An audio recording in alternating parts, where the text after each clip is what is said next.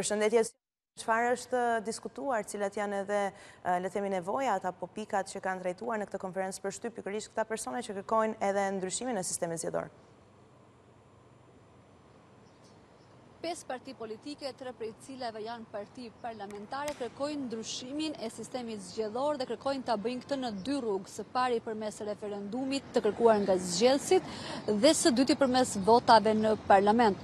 Përkatësisht Nisma Thurje dhe Partia e Endrit Patozit që janë parti jo parlamentare, si dhe tre parti parlamentare përkatësisht Partia e Fatmir Mediut, Agron Dukës dhe Dashamir Shehit propozojnë një ndryshim sistemi ku ai të jetë më përfaqësues. Gjithsesi rruga për ta bërë këtë përmes referendumit duket e vështirë. Mbledhja e pesëdhjetë mijë firmave sipas këtyre aktivistëve do të kërkohet të nisë nesër në Komisionin Qendror të Zgjedhjeve. Megjithatë, pesëdhjetë mijë firma për një referendum tjetër është e lehtë, po të kesh firmat, por për të ndryshuar kushtetutën me referendum, ligji përcakton rregulla më të forta.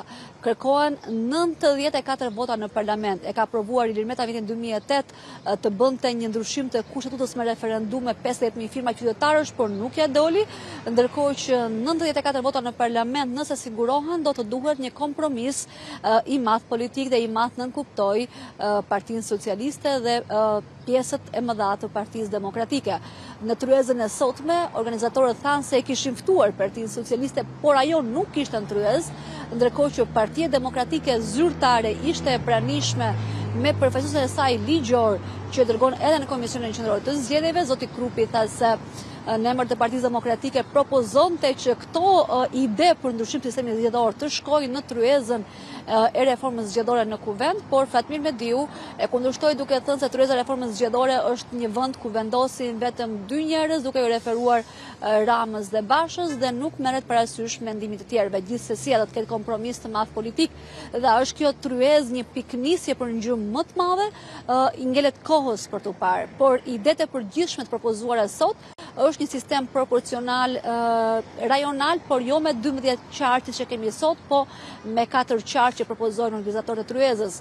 Ata kërkojnë lista 100% të hapura, kërkojnë që kur ti zgjedh një kandidat për deputet të mos zgjedhësh vetëm një, po deri në 5 alternativat që ka Kosova, njëkohësisht kërkojnë që edhe votuesit të mos kufizohen 18 vjeç, por të kenë mundësinë që për herë të parë të votojnë që 16 vjeç. Është një listë e gjatë me ide.